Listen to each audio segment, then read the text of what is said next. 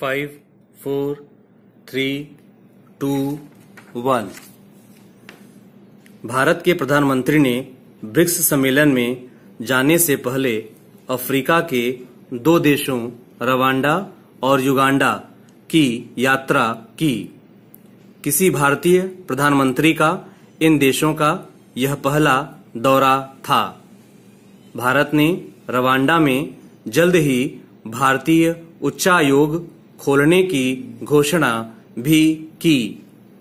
Rwanda और Uganda जाकर प्रधानमंत्री ने यह संदेश दिया है कि भारत अफ्रीकी मुल्कों के विकास में हर तरह से सहयोग देने को तैयार है।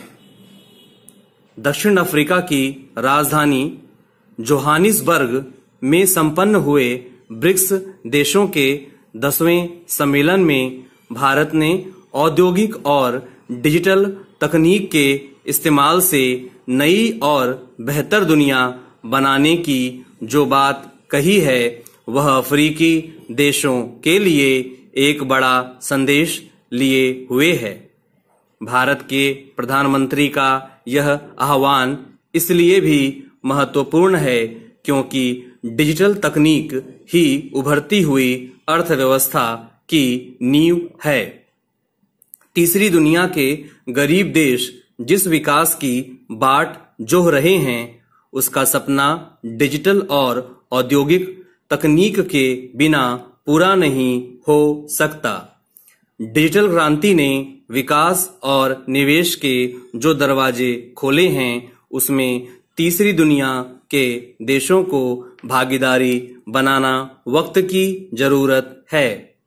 इसीलिए भारत ने ब्रिक्स के मंच से कृत्रिम बौद्धिकता यानी रोबोट की दुनिया, औद्योगिक तकनीक का विकास, कौशल विकास जैसे पक्षों पर ज़ोर दिया। ब्रिक्स देश आज दुनिया की तेज़ी से उभरती अर्थव्यवस्था है।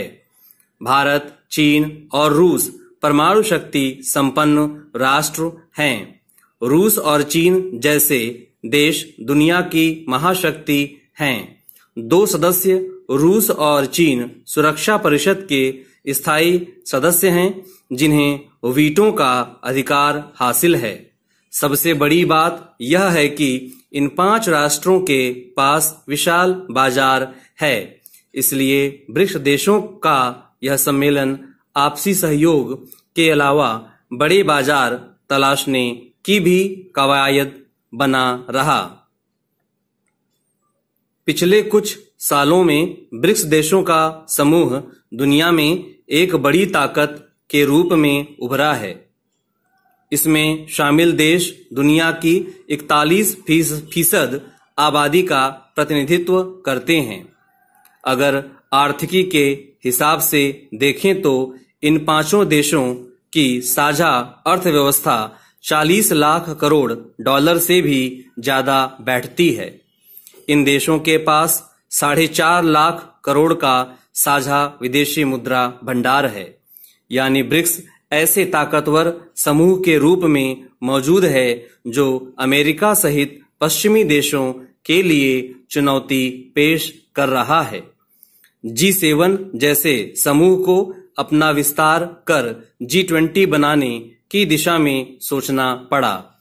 इसलिए ब्रिक्स के मंच से अगर कोई बात दुनिया में पहुँचती है तो उसके अपने निहितार्थ होते हैं।